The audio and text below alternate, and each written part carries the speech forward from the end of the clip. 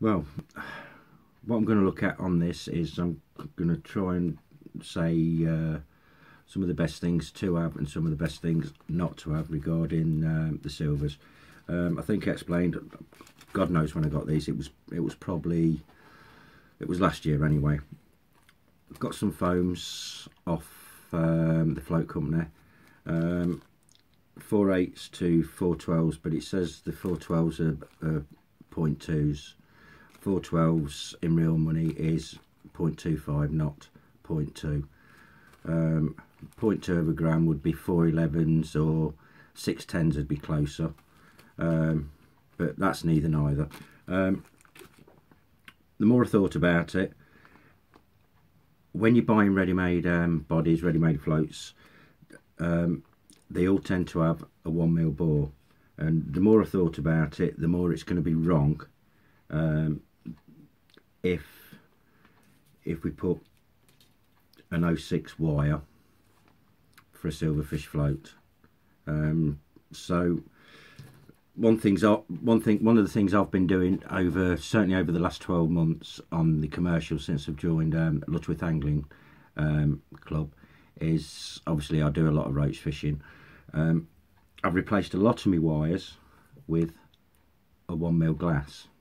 Um, makes the float a bit more a bit more robust and it's it's got a sim similar very similar um, properties um, when fishing in the water. And that's what I look for personally on a silverfish float not a float that will just sit onto the bristle and just basically up reed bites up and down. Um, you want a float that goes in the water. Some days you want a float to go in lay and follow everything in. Other days you want a float to go bosh sit down and then other days you want to hang on to a float and draw everything in.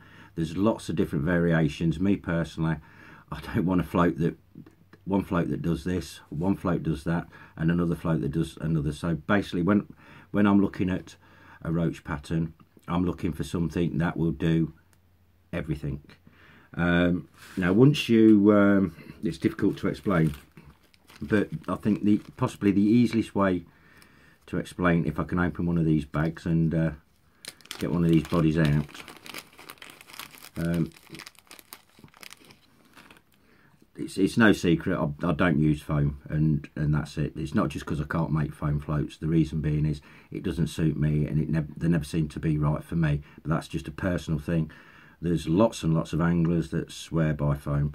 So you know we just we won't take it into that account generally what i what I look at is that is your modern day glue together float. That's that's how it is. Now, personally, that is excellent for that type of fishing. But it's also you can also get away with it for laying it in and bring it into the float. But where I don't think they're very good is is when you want to lay a float in and you want the float to gradually go to follow everything because everything is, to me it's just wrong. Everything's wrong. Um, but I might be wrong, and it, it's just just one of those things. Me personally, the way I've I've always made my own floats, and like for cut anglers, um, and some of the silverfish anglers that fish the puddles as well, is the best way I've accommodated that is is the way I work it is is a thirty percent or there thereabouts. So you will have say thirty percent stem, 30% tip into um, well everybody makes bodies now but obviously I'll make floats differently than bodies. Um, so 30% in and 30% of balsa at least 30% of balsa.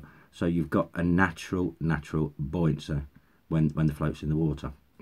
Obviously by filling all that void in you haven't because what tends to happen is without that um, obviously I'll make balsa floats. So without having that balsa in the center when you when you lay that float in the water, you've got that natural buoyancy, which then it follows everything through before it goes to the tip, and it does.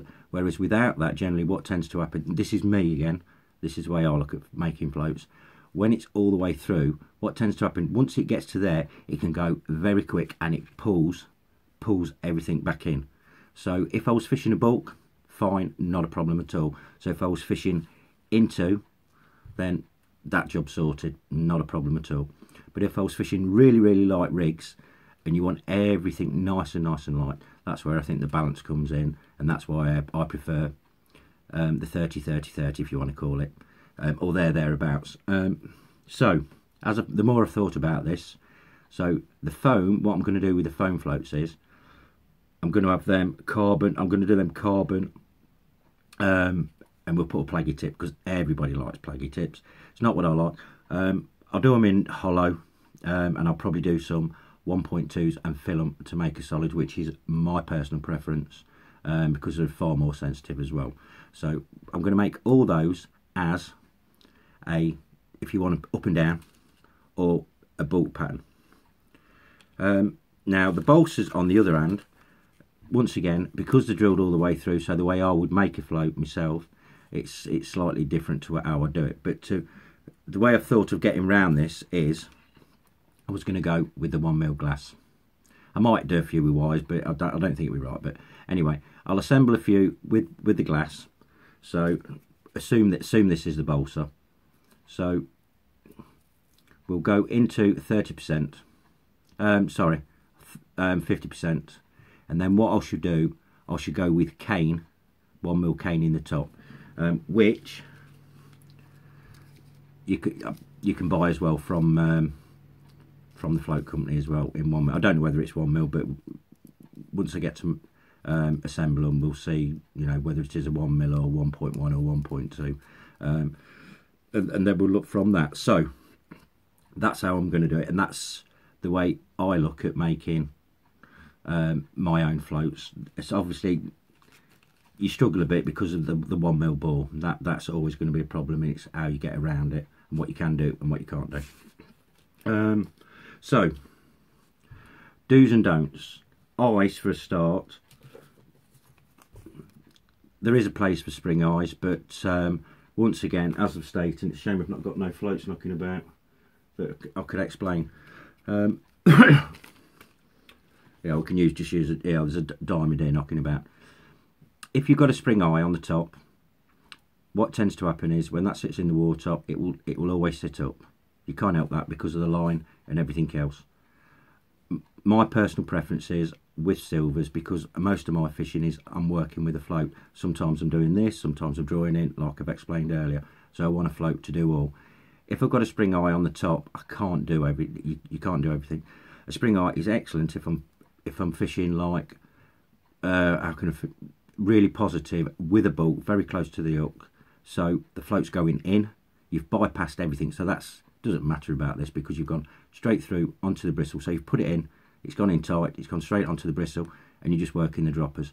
So your lines, if you've kept it tight, and ideally if you've got a dropper if you've got a spring on there it keeps everything because as soon as that line is picked up by the wind or anything like that or any natural movement what will happen with that float it will take it off its natural course with a spring but by having the eye set lower down that will naturally go through the water with everything down if it's tight. And it just sits nice and it, and it fishes. Personal choice. So I'm not going to do no spring, springs. They've gone. Um, these are not for the cut so we can forget about let's have a look. Uh, yeah there's some 06 tiny tiny eyes. We can forget those. Um, also what we definitely won't be using in my box of tricks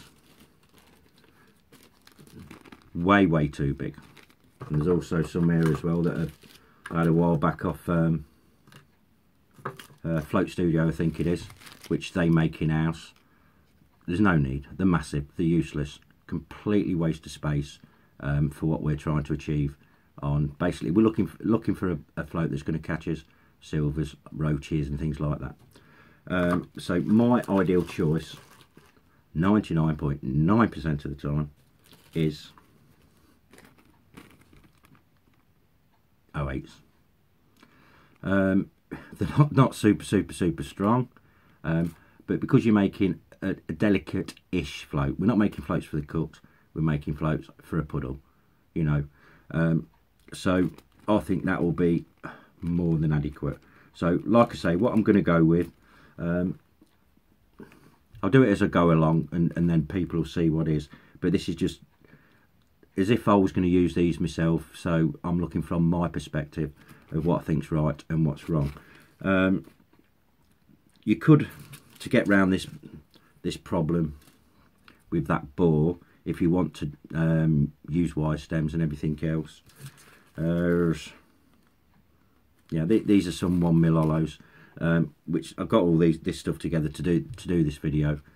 Um, and the idea was was to do hollows and wires and and the more I thought about it it just I don't think it's going to be right. So so I'll probably do that another time. But if you wanted to the ideal scenario is um,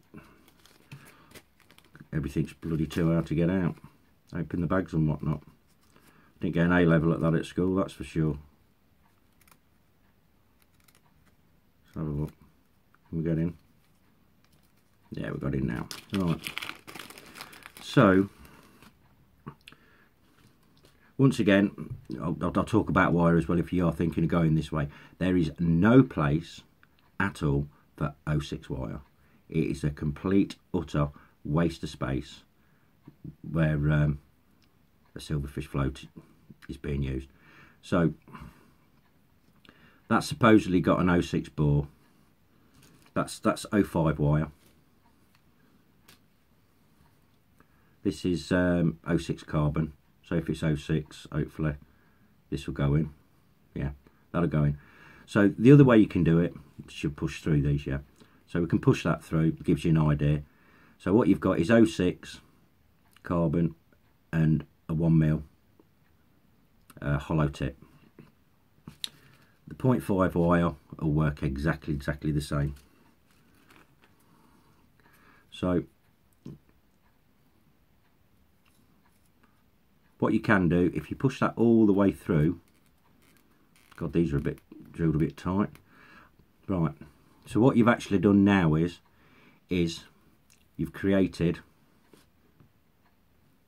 you've changed that bore from 1 mil to 0.5 so you've got the option then if you if you want to do it that way. And you can go through all the way through. Could you know just trim those off and trim those off um, and you can paint these up dip them do whatever whatever you're going to do. Um, that would actually make a quite reasonable even a bloodworm float because the bloodworm fishing the worm don't make make that much difference um, going through. So that's an alternative um, to getting that that through. And then if you wanted to stick another trim those back obviously. Then if you wanted to stick just take that through a bit. And if you wanted to stick a, a hollow tip on the top that's just a bit long but obviously you trim everything back. Um, so that's that's another way that you'd get round get round doing it that way. It's not my cup of tea it's not ideal but you have to make do with what bits of kit you've got if that makes any sense. Um, so um, I'll call it on this one and then I'll make my mind up what I'm going to do and then I'll upload another video and then it'll be like we'll call it work in progress as you say. So thanks for watching. Um, until I get a chance to update. Bye for now